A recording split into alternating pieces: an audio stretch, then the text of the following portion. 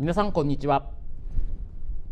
レック専任講師の横溝です。さて、えー、今回はですね進化し続ける横溝プレミアム合格塾10期生ということでいよいよですね横溝プレミアム合格塾、えー、2022年度版がスタートするというのにあたりまして、まあ、10期生なんですね、えー、10周年と。いうことでもありますので、まあ、一部カリキュラムなどですね見直しをして、えー、そしてさらに新しくより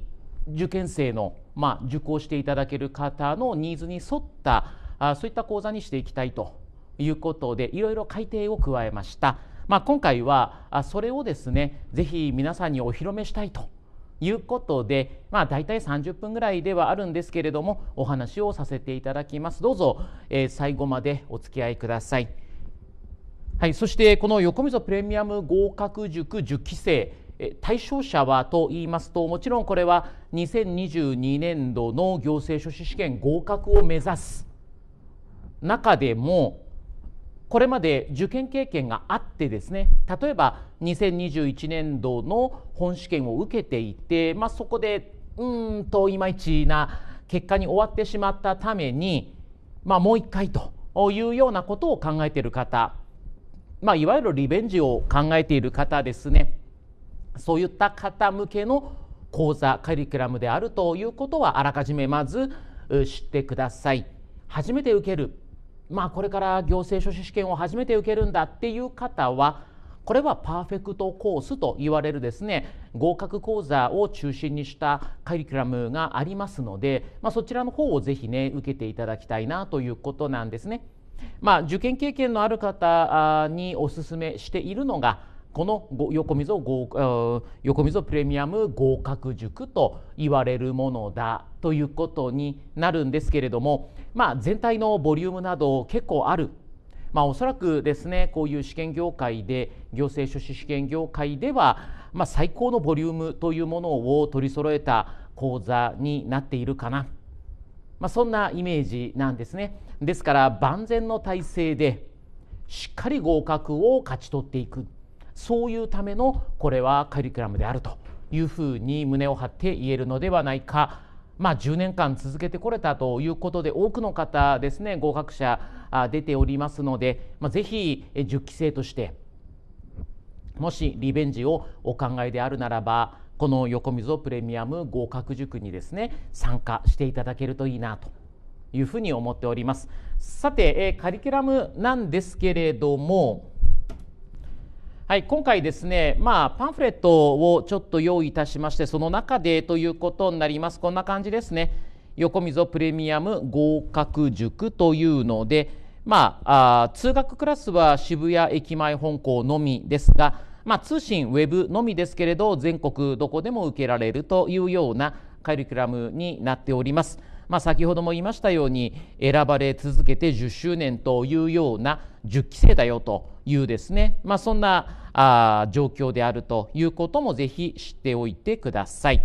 まあ、そして横溝プレミアム合格塾には、まあ、2パターンございます。でおすすめなのがこのプレミアム合格塾プラスと言われるものですね、えー、プレミアム合格塾プラスと言われるものが、まあ、あのおすすめです。というのは憲法行政法のフォローがしっかりしているのはこのプラスの方だからということなんです。まあ、プレミアム合格塾というものも全105回であるんですがこちらは、まあ、憲法行政法ももちろんなんですが民法をですね特に強化したいという場合であればこのプレミアム合格塾の方でもいいんですけれどもまあ早めにリベンジをというようなことを考えているんであればこのプレミアム合格塾プラスというものがやはりおすすめだということになってくるんですね。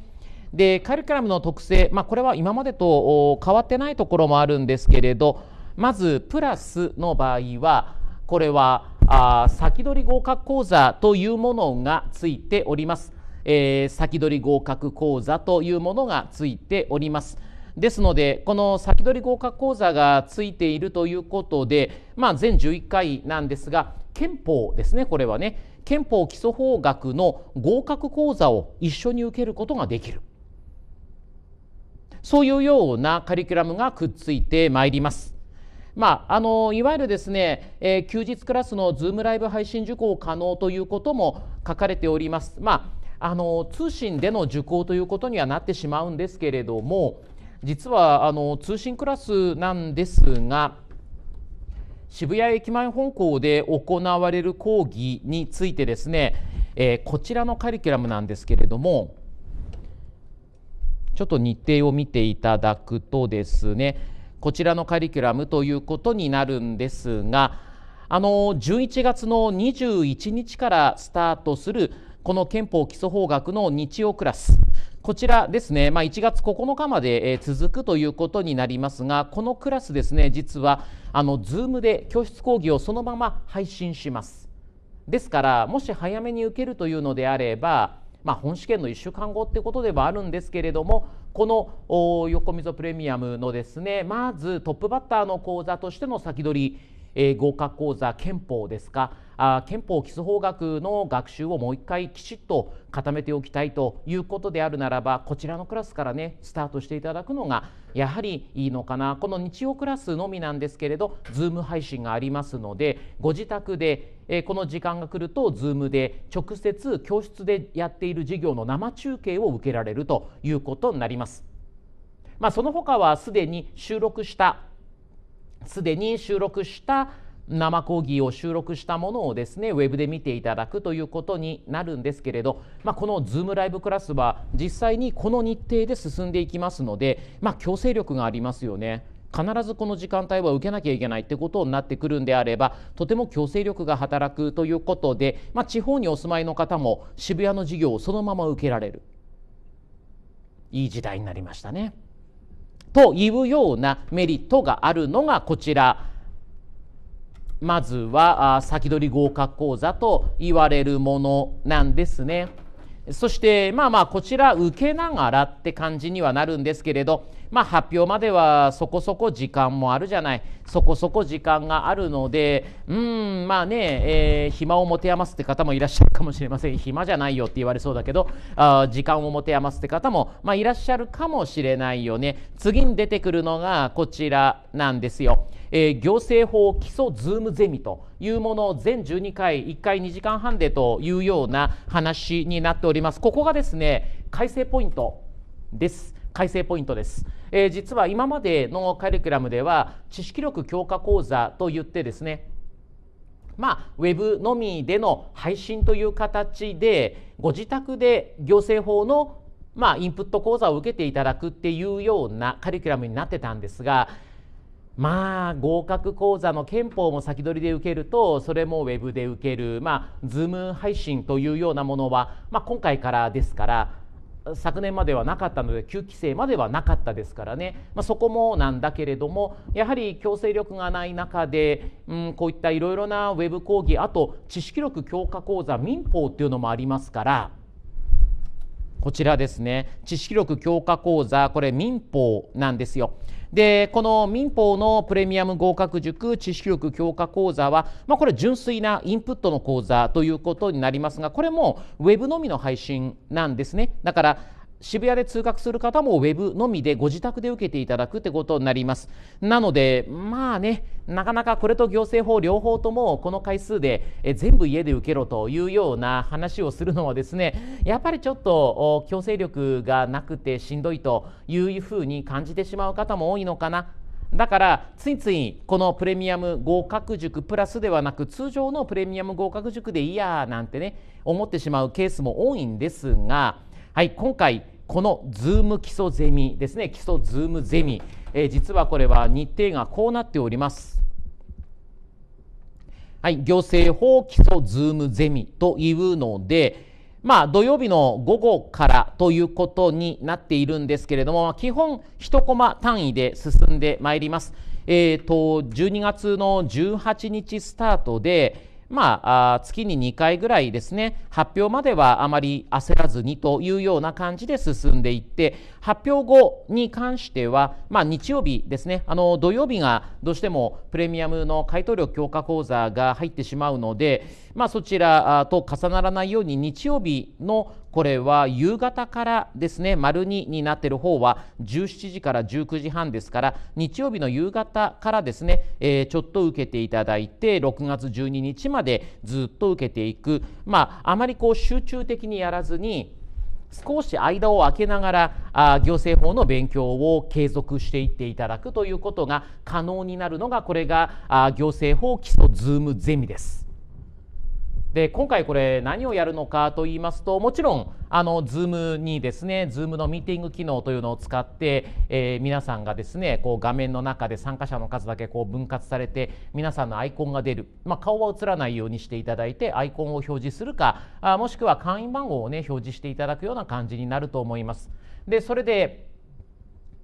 こちらから質問を投げかけながら一人一人に当てていくんですがさすがに基礎ズームゼミなんで何もない中で突然当てるとあまり体系的に勉強できないのでまああの行政法のね、えー一問一答形式の問題を投票機能を使って、えー、まずは解いていただいた上で、えー、それに関しての周辺知識などを含めていろいろと私の方から説明したり皆さんにお聞きしたりというのをこうやっていくゼミですね。だからうんと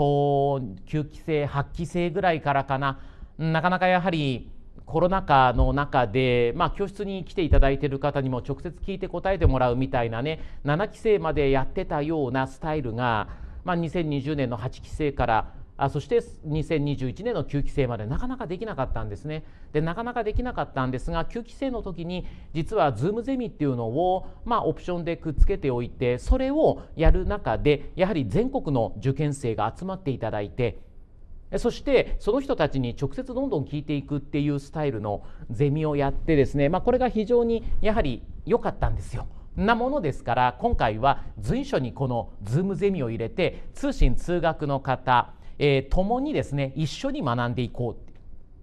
うそういうスタイルを作っていきたい、まあ、あ通信通学ハイブリッド講座というふうに呼んでますけれど通信プラス通学のハイブリッドですね。ということで通学で受けてる人のメリットも通信で受けてる人にきちっと与えていく。ということだからあの質問したいこともそこで質問ができるようにしていきますので、まあ、結果的には通学だったらすぐね教室で聞けること通信の場合はなかなかそれがうまくいかないっていうのも解決できる。というようなもう本当にこうね受けてる側からしたらたとえ日本のですよお、まあ、南の端の島に住んでる人であっても、まあ、少なくともこのインターネットがきちっと環境として整っていればどこに住んでいても参加できる。ねまあ変な話世界中どこに住んでても参加できるっていうそういうような仕組みになっていたということなんですね。あの非常に画期的なこれはカリキュラムになったなともう自画自賛ってそういう感じですけれど、まあ、あのそのね画期的なカリキュラムをどんどんどんどんこれから成長させていきたいなと思っていますんでぜひご参加いただいてですねそれを体感してもらうということ大事かな。やっぱりプレミアム合格塾だとどうしても行政法がウェブ配信の知識力強化講座になり結果的になんかあんまりちゃんとインプットができてないまんまずっと言ってしまうような人も中にはいたんですねだそれはもったいないのでこの Zoom 基礎ゼミで徹底的にそこは鍛え上げて行政法の得点力をぐっと上げていくということを実現したいそれが今回のこの Zoom 基礎ゼミの狙いだと思ってください。それから、まあ、プレミアム合格塾知識力強化講座こちらはまあ民法15回3時間でね、えー、直接インプットしていきます。ですのでこれはもう民法をまあゼロからインプットしようというようなスタイルの講義です。ただあの合格講座のような初めて受ける方向けの講義と違ってですねこれはまあ例年そうなんですけれど特に民法相続のあたりとかって結局物件や債権や場合によっては家族法まで含めたいろんな分野の話っていうのが分かってないと実際に、えー、分からない部分があったりしますよね。でまあまあこれやってないから先送りみたいな感じで本当に初めて勉強する人には対応するんですけれど、まあ、それも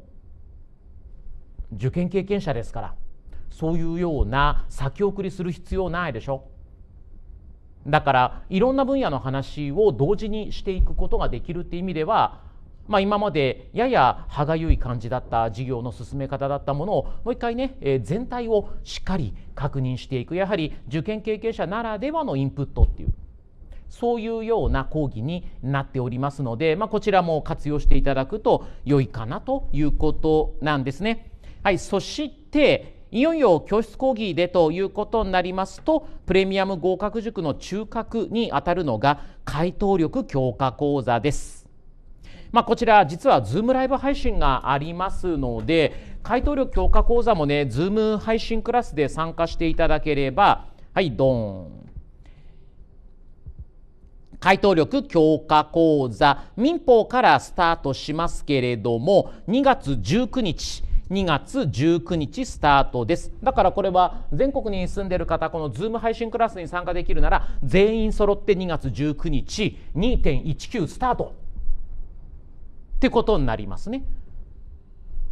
ここが言ってみたらより具体的にリベンジをスタートする。2022年の11月13日にリベンジをするためのスタートがこれだと。いうことになりますね。2月19日がリベンジ記念日だというふうに考えていただいたらいいんじゃないのっていうそういう話です。でそのままずっとこれ Zoom 配信クラスの場合だと土曜日に朝午後というふうに1日2コマですね、えー、原則進んでいきます。まあ、途中ちょっと1コマしかない日もあったりはしますが、まあ、原則としてはあ土曜日に2コマ進んでいく。で一部かぶる感じでズーム基礎ゼミがあるというような状態だから土日はね結構勉強に、えー、集中していただくということがまあ可能になるかなってそんなカリキュラムになっていると思ってください。はい、そして、まあ、こちらで県民業をやっていただいてですね、県民業をやっていただいて、あ、そうそう、それからこの回答力強化講座はよく見ると、あの、民法が7回で終わって、またずっと最後の保育とまた民法が出てきたりするんですね。これはあの相続物件分野先にやってその後憲法の人権それから行政法で、まあ、総論と手続き法をやって、えー、そしてまた憲法の統治行政法残り民法残りっていう形で一気にやらないで少しずつ細切れにして、えー、進んでいくカリキュラムこれは8期生の時からかな採用してます。まあ、あえて細かく分断してやっていくことによってですねまあ学習のそのサイクルをまあ、いろんな科目をいろいろ勉強できるようにしていくことでより定着度合いを高めていくやっぱり1個のものを集中してずっとやってるよりはいろんな科目を同時並行で勉強した方が学習効率はいいというのはこれ脳科学的に立証されている話だったりもします。だからあの一番良くないのが今月は民法強化月間っつって民法しかやらないみたいな勉強が一番良くないのよ。いろんなものを同時にやっていくってことがないとこれはなかなかうまくいかない。まあ、これ、まあ、あの勉強だけじゃなくてさまざまな例えばね、えー、スポーツの練習なんかでも取り入れられてるやり方だったりはします。あのあることを強化したいからといってある技術だけをひたすら磨き続けるみたいな練習をすること自体あんまり意味はないのでいろいろな練習を取り入れる中で、えそのある技術を磨けるようにいろんな角度から練習を取り入れていかないとダメだよね。これはやっぱりうんどういう状況であれ、まあ、人間の脳はわがままですからねだからそのわがままな脳を満足させてあげるために手を変え品を変えいろんなものを提供していくっていうのはやっぱ大事だったりはするんですそれから反復が大事だからね反復して勉強していくってことが大事なのでまあ少し細切れにしていくことで民法の相続物件まで終わって憲法の回答力強化やりながら民法の復習もしていくとかさこう同時並行で伏線化で勉強ができるようなカリキュラムになっていると思ってください。そしてさらにその他でいくと、まあ、この辺りは、まあ、従来からあるものですけれど過去問徹底解析講座あこちらの講義ですね通信通学で、えー、それぞれ行っていきます、まあ、ここからはごめんなさいズーム配信ではなくなってしまうので通信と通学の方で、えー、それぞれ、えー、配信日などもしくは競技講義での実施日程などが若干ずれてくるということにはなっちゃいますが、まあ、過去問徹底解析講座あのウォーク本過去問題集を使って過去の問題についてしっかりこれは検証していきます。そして文章理解特訓講座もちろん文章理解対策のこれは決定版。ということになりますしさらには、はい、商法会社法特訓講座やそれから一般知識特訓講座というものがあそれぞれ入っているということになっております。でこちらはあの演習編がグリーンですけれど実はその前に講義編というのがウェブ配信で、えー、ありますのでまあまあ、あの見れるタイミングで見ていただきながらですねこちら演習編の方は通学クラスの方は教室でもやっていくというようなスケジュールになっております。この辺りで商法会社法やそれから一般知識もねしっかり目配りしていくさらには民法はやはり問題演習が鍵になりますので回答力強化講座のところでもあの民法だったら150問行政法も150問憲法75問の問題を、えー、演習していくんですが民法択一60問解きまくり講座ではプラスさらに民法は60問の択一問題を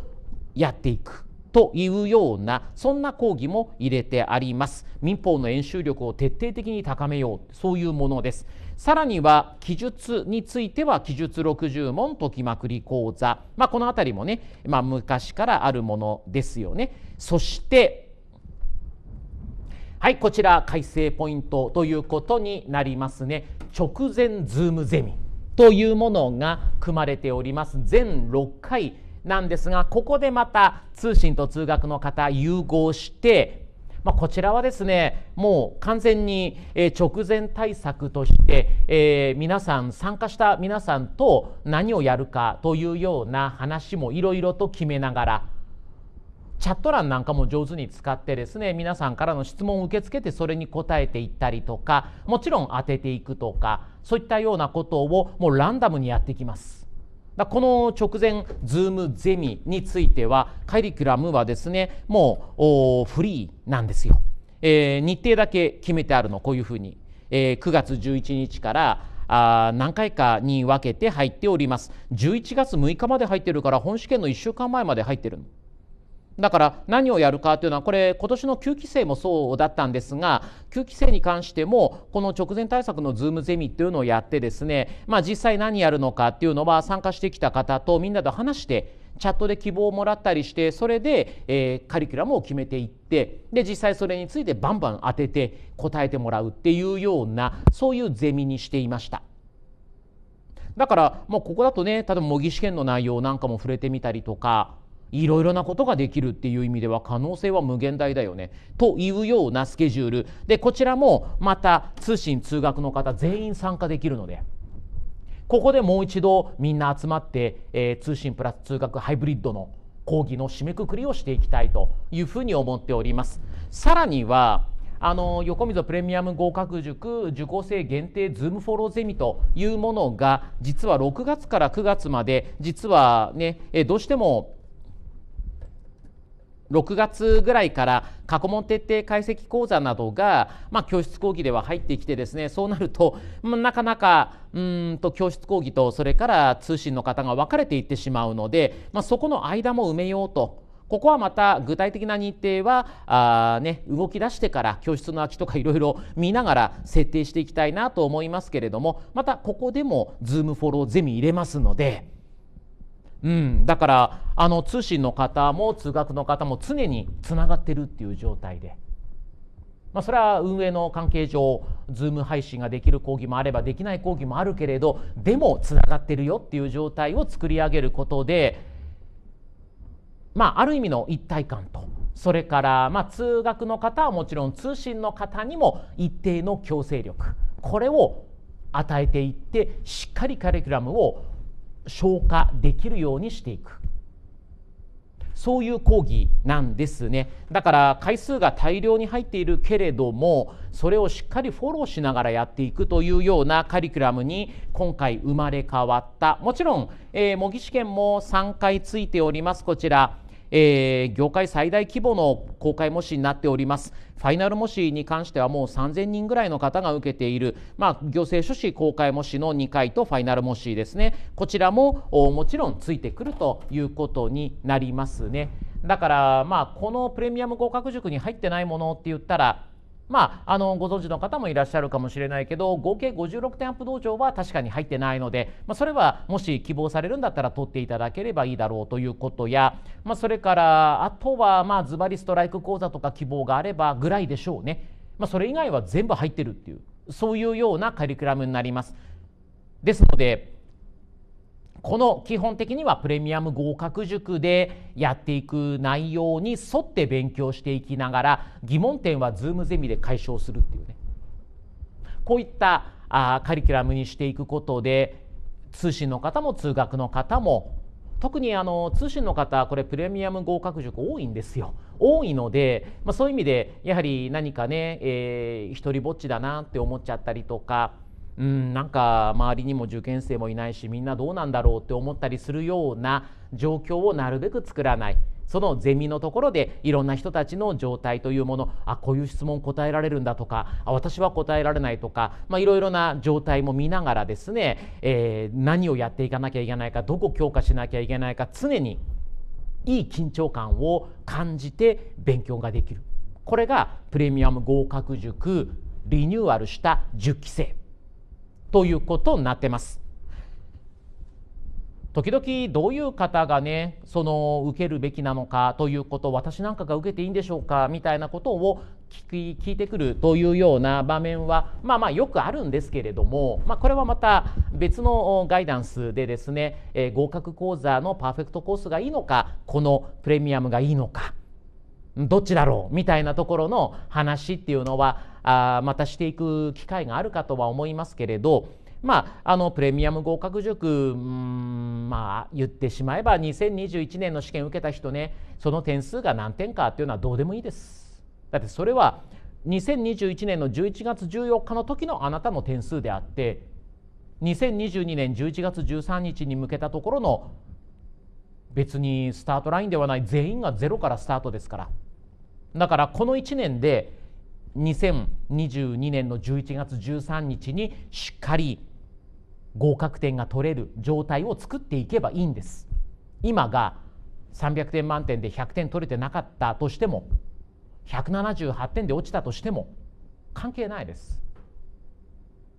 178点で落ちたからアドバンテージがあるなんて思っちゃダメです。